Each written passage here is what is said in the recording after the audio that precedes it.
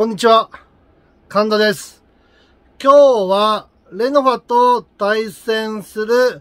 岩手にね、ついてお伝えしようと思います。岩手は、ここまで2勝1分け2敗、勝ち点7、順位がですね、11位です。で、今季からね、J2 に昇格した、えチームで、まあ、システムは、まあ、343というか、まあ、3421と言ったらいいのかな。で、昨シーズンの岩手のね、サッカーを見ていて、まずは、守備は、まあ、前線からのプレス、マイプレー、まあ、カウンタープレスが、まあ、岩手の特徴と言ったらいいのかな。まあ、中村選手のピンポイントのクロスが、まあ、最前線の選手めがけて入れてくるので、まあ、ここはね、レノファは、えー要注意した方がいいのかなと。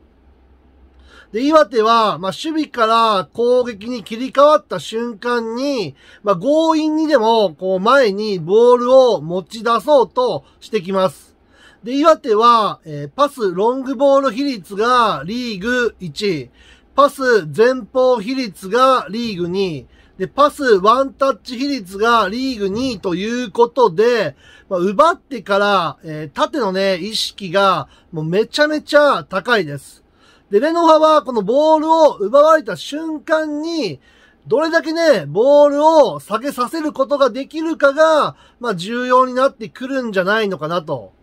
で、岩手の、まあ、中盤の選手のイメージは、こう、ボールハンター、まあ、潰し役の選手が多くと言ったら、まあ、言い方がね、悪いと思うんですけども、こう、相手選手を刈り取ると言ったらいいのかな。こう、鋭い読みと冷静な判断で、こう、安定したね、プレーが特徴の選手が、まあ、中盤に揃っているイメージで、まあ、的確なポジショニングでボールを奪い、こう素早いね、判断から、正確なね、フィードで、まあ、ロングフィードで、こう、前へ前へと、えー、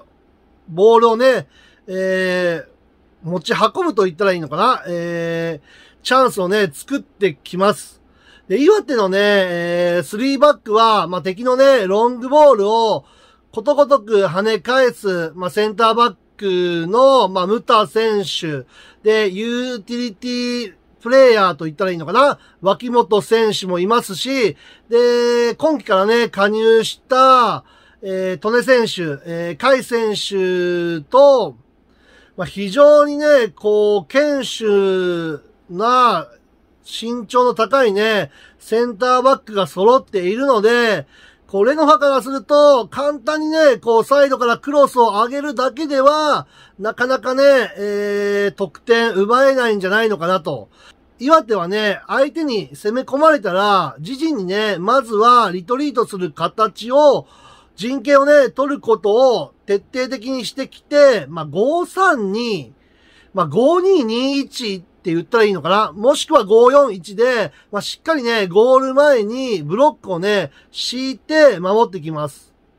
で、フィジカルをね、中心に、えー質的優位を取れるセンターフォワードをめがけてボールを入れてくるのはね、もう岩田の明確なね、えーストロングポイントです。で、センターフォワードが落としたボールをしっかりね、回収して、その後は、えー縦のね、突破役は、シャドウと、えー右ウィングバックの選手を、主にね、中心となって、えーしてきます。全員がね、機動力と縦へのね、推進力を、まあ、兼ね備えている選手が多くね、えースタメンで出場してきますので、基本的にね、こう、サイドチェンジは、比較的少なく、縦に速く、こう、同一サイドで、えー完結する、シュートまで持っていって、えー終わるという攻撃が多いような気がします。で、相手陣地にね、押し込んだ後は、ワンシャドウ、ツーシャドウのサポートは、えーボールサイドのウィングバックと一列ね、えー下がったポジションの、まあ、ボランチの選手がバランスを取りながら、その役割を担ってます。で、逆サイドのウィングバックは、ファーのクロスにね、飛び込む役目も兼任なので、比較的ね、高い位置を取ることが多いので、レノファのね、えー、本当サイドの選手は、ここのね、マークをフリーにせずにね、しっかりね、えー、ボールと、えー、マーク、岩手のこの逆サイドのウィングバックの選手を、しっかりね、見ながら、えー、ポジショニングをね、守備の時は取ってほしいなと思います。で、守備においてはね、相手が、まあ、どんな戦術を仕込んでこようとも、まあ、どんなね、分析をしようが、関係なくね、プレスの強度と速さを持って敵の余裕を奪い、まあ、意図的な攻撃をさせないと言ったらいいのかな。攻撃においても、センターフォワードの、えー、質的優位をね、担保に相手をね、強引に押し込み、そこでね、得たセットプレーや偶発的なチャンスをものにすることで、えー、得点して勝ち切るというのがね、えー、岩手のサッカースタイルです。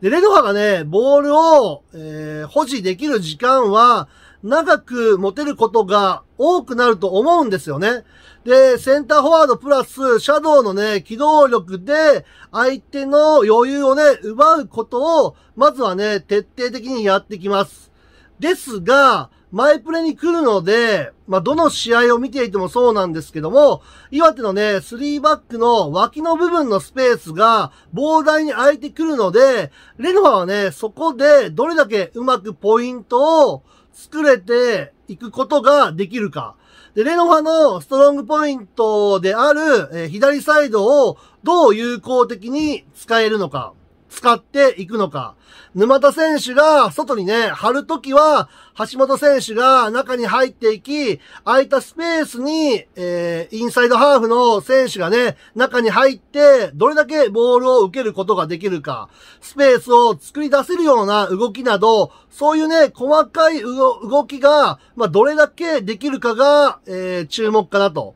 そうすることによって、岩手のね、守備陣が、レノファの選手のね、マークを掴みきれないと思うんですよね。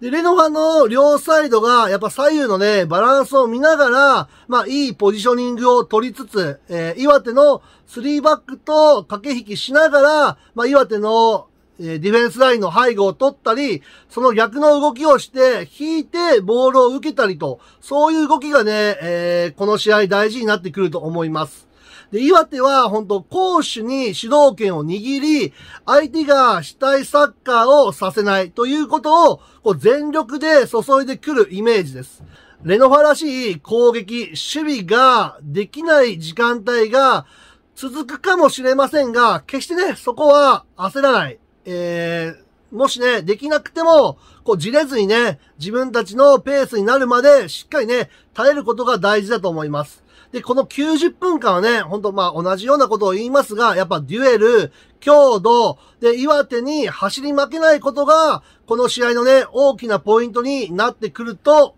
思います。